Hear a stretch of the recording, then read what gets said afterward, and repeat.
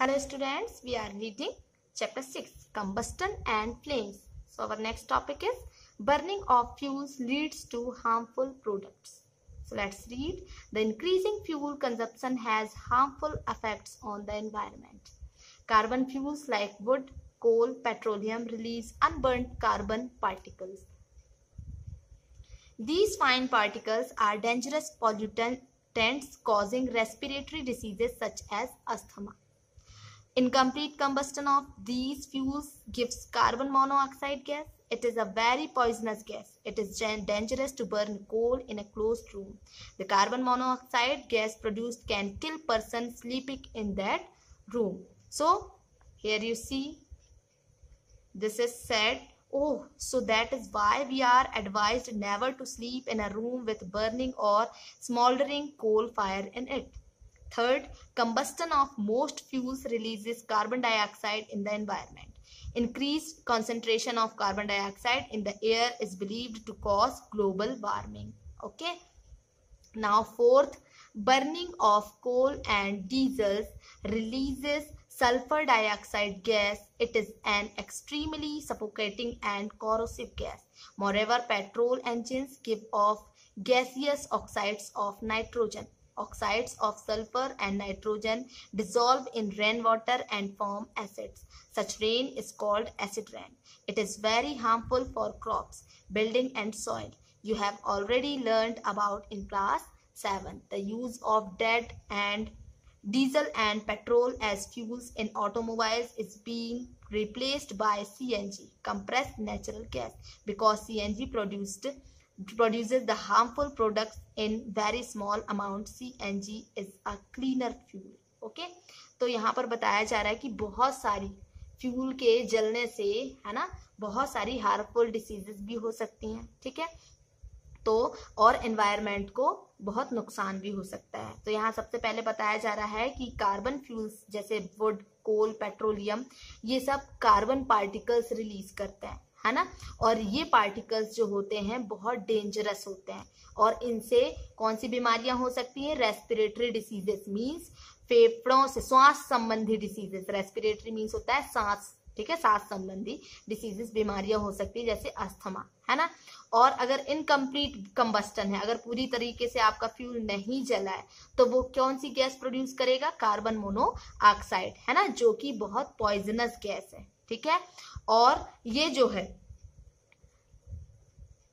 और भी डेंजरस है कि अगर जलते हुए कोयले को या कोल को बंद कमरे में छोड़ दिया जाए, है ना? तो उससे कार्बन मोनोऑक्साइड जो है, वो गैस प्रोड्यूस होती है और इससे उस कमरे में अगर कोई पर्सन है तो उसकी सोए सोए मृत्यु भी हो सकती है, ठीक है? फिर कंबस्टन जो है है ना? फ्यूल्स का फ्यूल्स का जो कंबस्टेंस होता है, ईंधनों का जो जलना होता है, दहन होता है, वो कार्बन डाइऑक्साइड भी रिलीज़ करता है एनवायरमेंट में, ठीक है? जिससे क्या होता है? कार्बन डाइऑक्साइड पूरी एयर में फैल जाती है और ग्लोबल वार्मिंग हो सकती है। ग्लोबल वार्मिंग क्या है? Global war sorry global warming जो है, वो एनवायरमेंट में टेम्परेचर को एटमोस्फेयर का जो टेम्परेचर है, उसको इंक्रीज करती है, ठीक है? तो जब अर्थ में टेम्परेचर जो है इंक्रीज होगा तो उससे ग्लेशियर्स जो हैं वो मेल्ट होंगे। ग्लेशियर्स मीन्स जो बड़े बड़े बर्फ़ की चट्टाने होती है ना, वो मेल्ट होने लगेंगी और जब मेल्ट होंगी, समंदर में रहती हैं ग्लेशियर समंदर में ग्लेशियर्स होते हैं, ठीक है? तो वो मेल्ट होंगे और कुछ माउंटेन्स में भी ग्लेशियर्स होते हैं, है ना? तो वो मेल्ट होंगे और पिघलेंगे तो पानी बनेंगे और पानी से फिर क्या आएगा? बाढ़ आएगी तो समंदर में क्या आएगा? बाढ़ आएगा बाढ़ आएगी तो जो कोस्टल एरियाज़ हैं, है ना? कोस्टल एरियाज़ में मतलब जो तटीय क्षेत्रों पर जो सिटीज़ बसी हुई हैं या जो गाँव बसे हुए हैं, वो सारे तबाह हो सकते हैं, ठीक है? और वो सारे पानी में मर्ज हो सकते हैं मीन्स पानी में मिल सकते हैं, ठीक है? फिर वहीं एक और बताया जा रहा है कि burning of coal and diesel मतलब कोल और डीजल के जलने से सल्फ़र डाइऑक्साइड गैस रिलीज़ होती है। ठीक है? और ये सल्फ़र डाइऑक्साइड जो गैस होती है, वो बहुत सफोकेटिंग होती है। मींस सफोकेटिंग मींस होता है दम घुटना टाइप्स ठीक है? तो बहुत डेंजरस गैस होती है है ना? ऐसे ही पेट्रोल भी है, वो भी नाइट्रोजन की ऑक्साइड रिलीज़ करती है जब पेट्रोल जलता है तो ठीक? तो नाइट्रोजन और सल्फ़र के जो ऑक्साइड होते हैं, वो रेन वाटर में जब डिजोल्व होते हैं तो वो एसिड का काम करते हैं, है ना? तो वो किसका रूप ले लेते हैं? एसिड का रूप ले लेते हैं, ठीक है? और इसीलिए फिर एसिड रेन होती है है ना? अम्लीय वर्षा। और ये जो है क्रॉप्स के लिए बहुत हार्मफुल है, बहुत नुकसानदेह है है ना? Not only crops buildings and soil also for buildings and soils also ठीक है? ये सारी चीज़ें आप क्लास सेवंथ में पढ़ चुके हैं। तो ये जो डीजल और पेट्रोल का पेट्रोल का यूज़ ऑटोमोबाइल्स में किया जाता है, गाड़ियों में किया जाता है तो उसकी जगह अगर हम सीएनजी यूज़ करें पेट्रोल और डीजल की जगह अगर हम सीएनजी यूज़ करते हैं कंप्रेस नेचुरल गैस है ना? तो इससे क्या होगा कि